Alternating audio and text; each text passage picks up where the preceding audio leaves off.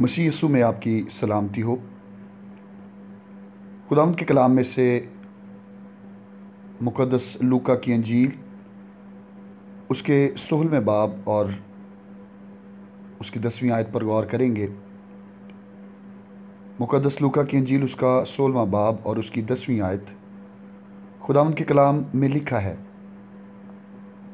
जो थोड़े में दयानतदार है, वो बहुत में भी दयानतदार है।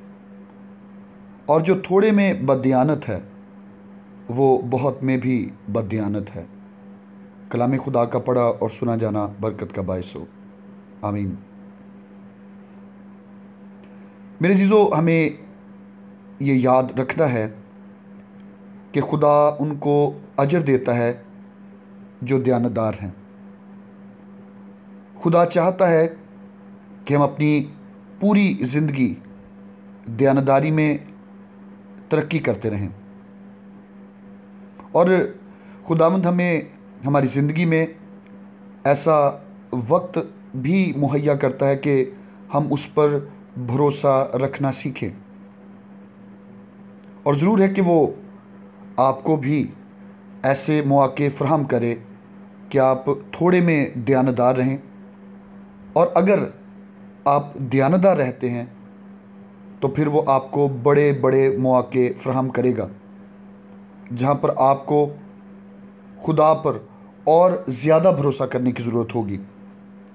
और जैसे जैसे आप खुदावन पर भरोसा करते जाएँगे, वैसे वैसे ही खुदावन अपने आप को आप पर ज़्यादा से ज़्यादा ज़ाहिर करता जाएगा।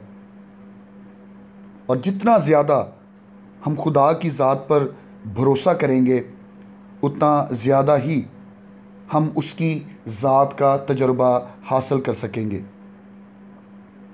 जो कुछ खुदावंद ने आपको दे रखा है, आप उसमें कितने दयानतदार हैं? इस सवाल के जवाब से ही पता चल सकता है कि क्या आप खुदा की ज़ात का नया मुकाशफा हासिल करने के लिए तैयार हैं या नहीं?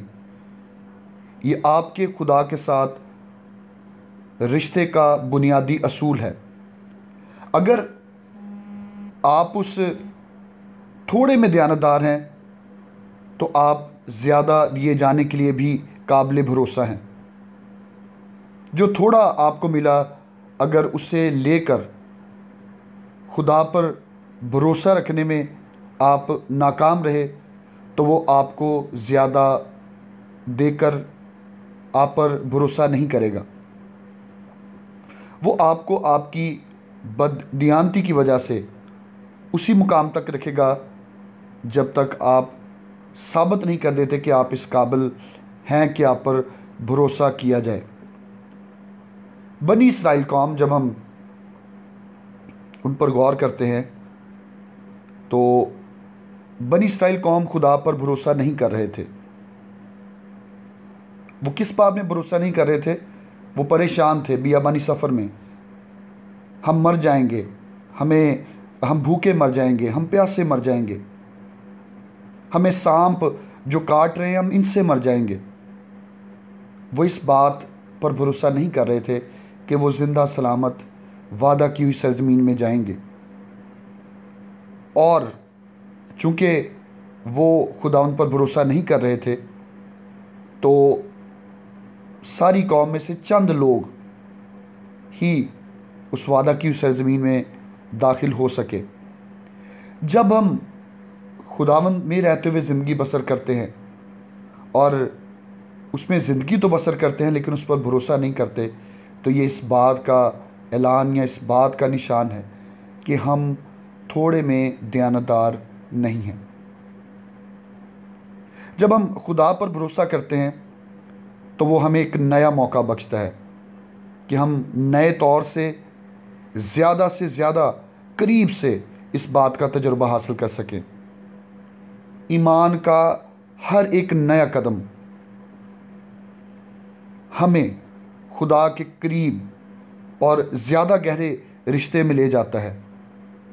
और खुदा ये चाहता है कि हम उसे और करीबी और गहरे तौर पर जाने। और जो कुछ उसने हमें दिया है, हम उसमें दयानतदार रहें, ताकि हमें और ज़्यादा दिया जाए। खुदा हमें बरकत दे। आमीन।